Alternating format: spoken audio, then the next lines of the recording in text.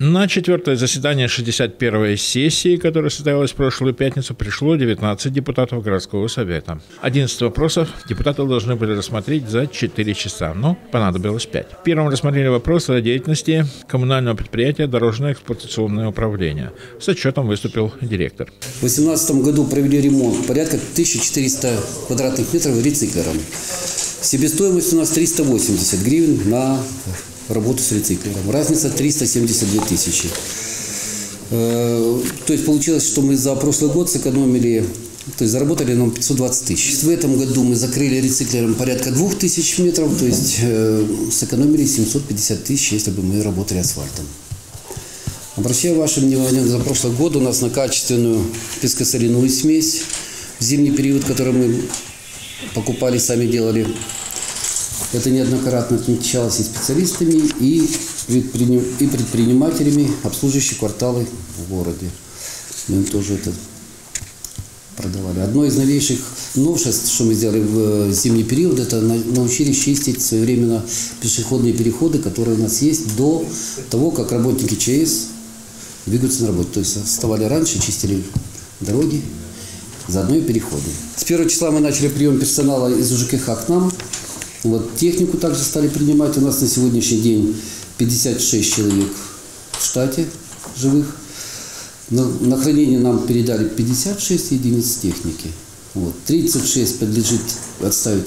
36 единиц еще так более-менее полуживые, а 20 единиц, которые стоят, они полностью готовы к списанию и только к списанию. Сергей Леонидович рассказал, кроме того, об аналогичном предприятии в Чернигове и высказал осторожное желание приобрести нового оборудования примерно на 15 миллионов. Далее депутаты засыпали директора ДЭУ вопросами. Депутат Борисов просил подготовить план развития предприятия.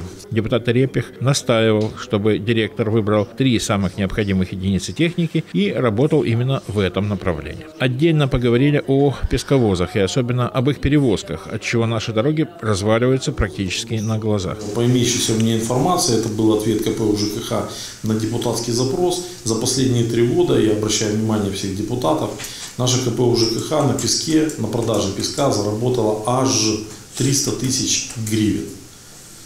Сегодня, ну, я не знаю, поправьте меня, насколько я помню, нам ремонт только вот этого участка дороги, которого от Славутича до Якоря, э, где-то там 7-11 миллионов, да, 7-11. Ну, да, То есть, ну, мы должны понимать, что сегодня тот песок, э, нам невыгодно настолько продавать этот песок, что урон, который нам наносят эти песковозы, фактически сегодня, он просто, ну, э, даже не, не на порядок, а сколько, в 20 раз больше наносят ущерба, нежели мы получаем с этого прибыль. Это абсолютно нерационально. Первоочередная ответственность за э, перевозку песка, э, наказание, там, э, притягнення до відповідальності там, юридических лиц, прежде всего, лежит на вашем предприятии. Поэтому тоже прошу обратить на это, на это внимание. В этом случае действительно стоит брать пример с Беларуси. Депутат Радченко подняла тему ремонта дорожек в кварталах и их очередности. Депутат Корнеичек требовал от руководителя ДЭУ выполнения своих обещаний. Разговоры о том, почему не куплен каток, почему не куплены весы, это, вы понимаете, это не с этой темы. Мы таких, таких э, коммунальных директоров уже наслушались угу. которые вместо того, чтобы что-то делать, начинают придумывать новые объяснения. А почему у нас это не получилось? Правда, тут нужно согласиться с директором ДЭУ, время, предусмотренное процедурами, никак не обойти. Да и к тому же выделенных денег, увы, не хватает. У нас на укладку тротуарной плитки выделено 200 тысяч. Найти, кто будет ложить за 200 тысяч, бросить все свои объекты в городе Чернево, в Славыче у нас просто никого нет. Они все уехали. Их просто нет. И никто со мной по этому поводу общаться не хочет. Не будут они делать. За эти деньги никто не хочет сюда ехать. Депутат Чесноков отметил, что количество проведенных ямочных ремонтов значительно увеличилось. И если ДЭО собирается заниматься еще и перевозками, то почему до сих пор нет стоимости расчета за проезд? Отчет о деятельности ДЭО приняли к сведению с высказанными замечаниями. Отчет о деятельности Словической городской больницы и подстанции экстренной медицины не состоялся по объективным причинам. Они перенесены на следующую сессию. Достаточно продолжительное время обсуждали вопрос с товариществом Кивач. Учитывая, что затянулось выполнение решения о перемещении этого предприятия в другой район, а также учитывая, что Славутич теряет 10 рабочих мест, решено на ближайшей сессии заслушать руководителя предприятия и рассмотреть итоги проверки предприятия соответствующими экологическими службами. Следующий вопрос, казалось бы, простой о выделении жилья для доктора, работающего уже 20 лет в нашей медсанчасти, перерос в более глобальный. Необходимость возвращения к теме служебного жилья назрела. На общегородской очереди на сегодняшний момент стоят словучане, проживающие в городе с 1994 года. По словам депутата Шурыгиной, в том корпусе медсанчасти, где сейчас проживает часть медперсонала, при проведении реконструкции можно разместить и большее число проживающих.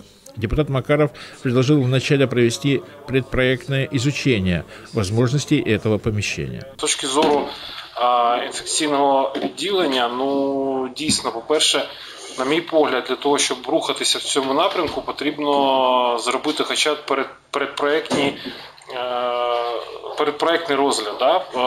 Це буде коштувати невеликі кошти, і буде зрозуміло, скільки там може бути квартир, яка вартість будівництва. Ну, вклавши невеликі кошти, однак вже буде можна мати картинку, яка покаже, що це може бути.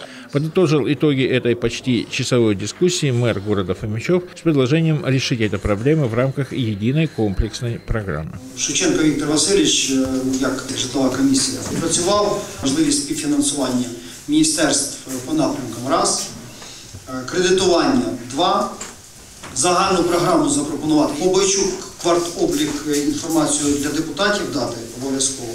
І предпроектні розробки надати по інфекційному корпусу, скільки це буде коштувати, щоб їх замовити. Мені подобається ідея створення єдиної комплексної програми. По напрямкам, але єдиної програми.